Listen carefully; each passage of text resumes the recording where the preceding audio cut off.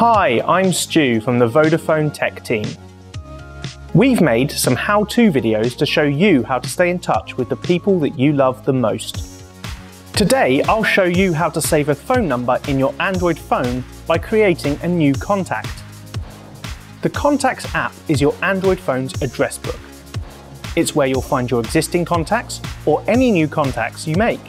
It's where you can save their phone numbers, email address, real address, and more. First, you'll need to get it on your Android phone.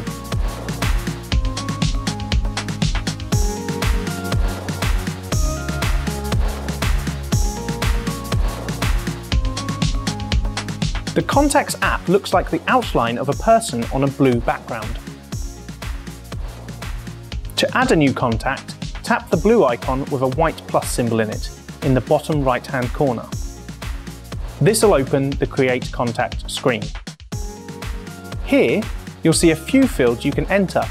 First name, surname, company, phone, and more. Whenever you tap on a field, a little keypad will pop up, so you can enter the information. Once you've entered all the information you need, just tap Save in the top right-hand corner. That's pretty much all there is to it.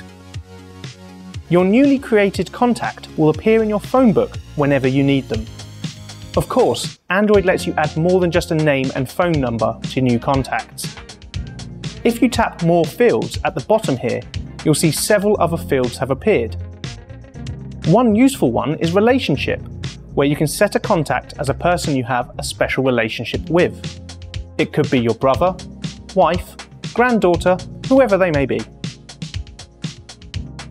Go ahead and fill those in as you need. You can also set a photo for your contact, which can help you recognise them when they call. Tap the photo icon at the top of the Create Contact screen. Here you'll get two options, Take Photo and Choose Photo.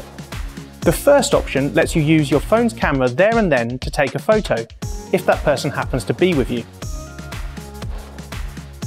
The second option lets you choose a photo from your photo gallery, where all your photos are saved. Choose the option you want to set and then tap Done.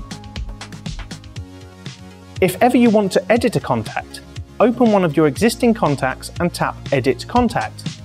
That's the icon in the bottom right hand corner with the little pencil on it. If you decide that you don't want to have that person as a contact anymore, you can delete them. Just tap the three dots in the top right hand corner and select Delete. In that menu, you'll also see some other useful options. Share lets you send the contact's details to someone else via message, email, WhatsApp, and more. Add to home screen creates a little shortcut so you can access that contact without opening your Contacts app. Set Ringtone lets you set a specific ringtone for that contact. You can choose from the list of ringtones by tapping the one you like. Save it by tapping the back button in the top left. That covers how to create a new contact on your Android phone. Thanks for watching, I hope you found this video useful. Don't forget to subscribe to our Vodafone UK YouTube channel for more helpful videos.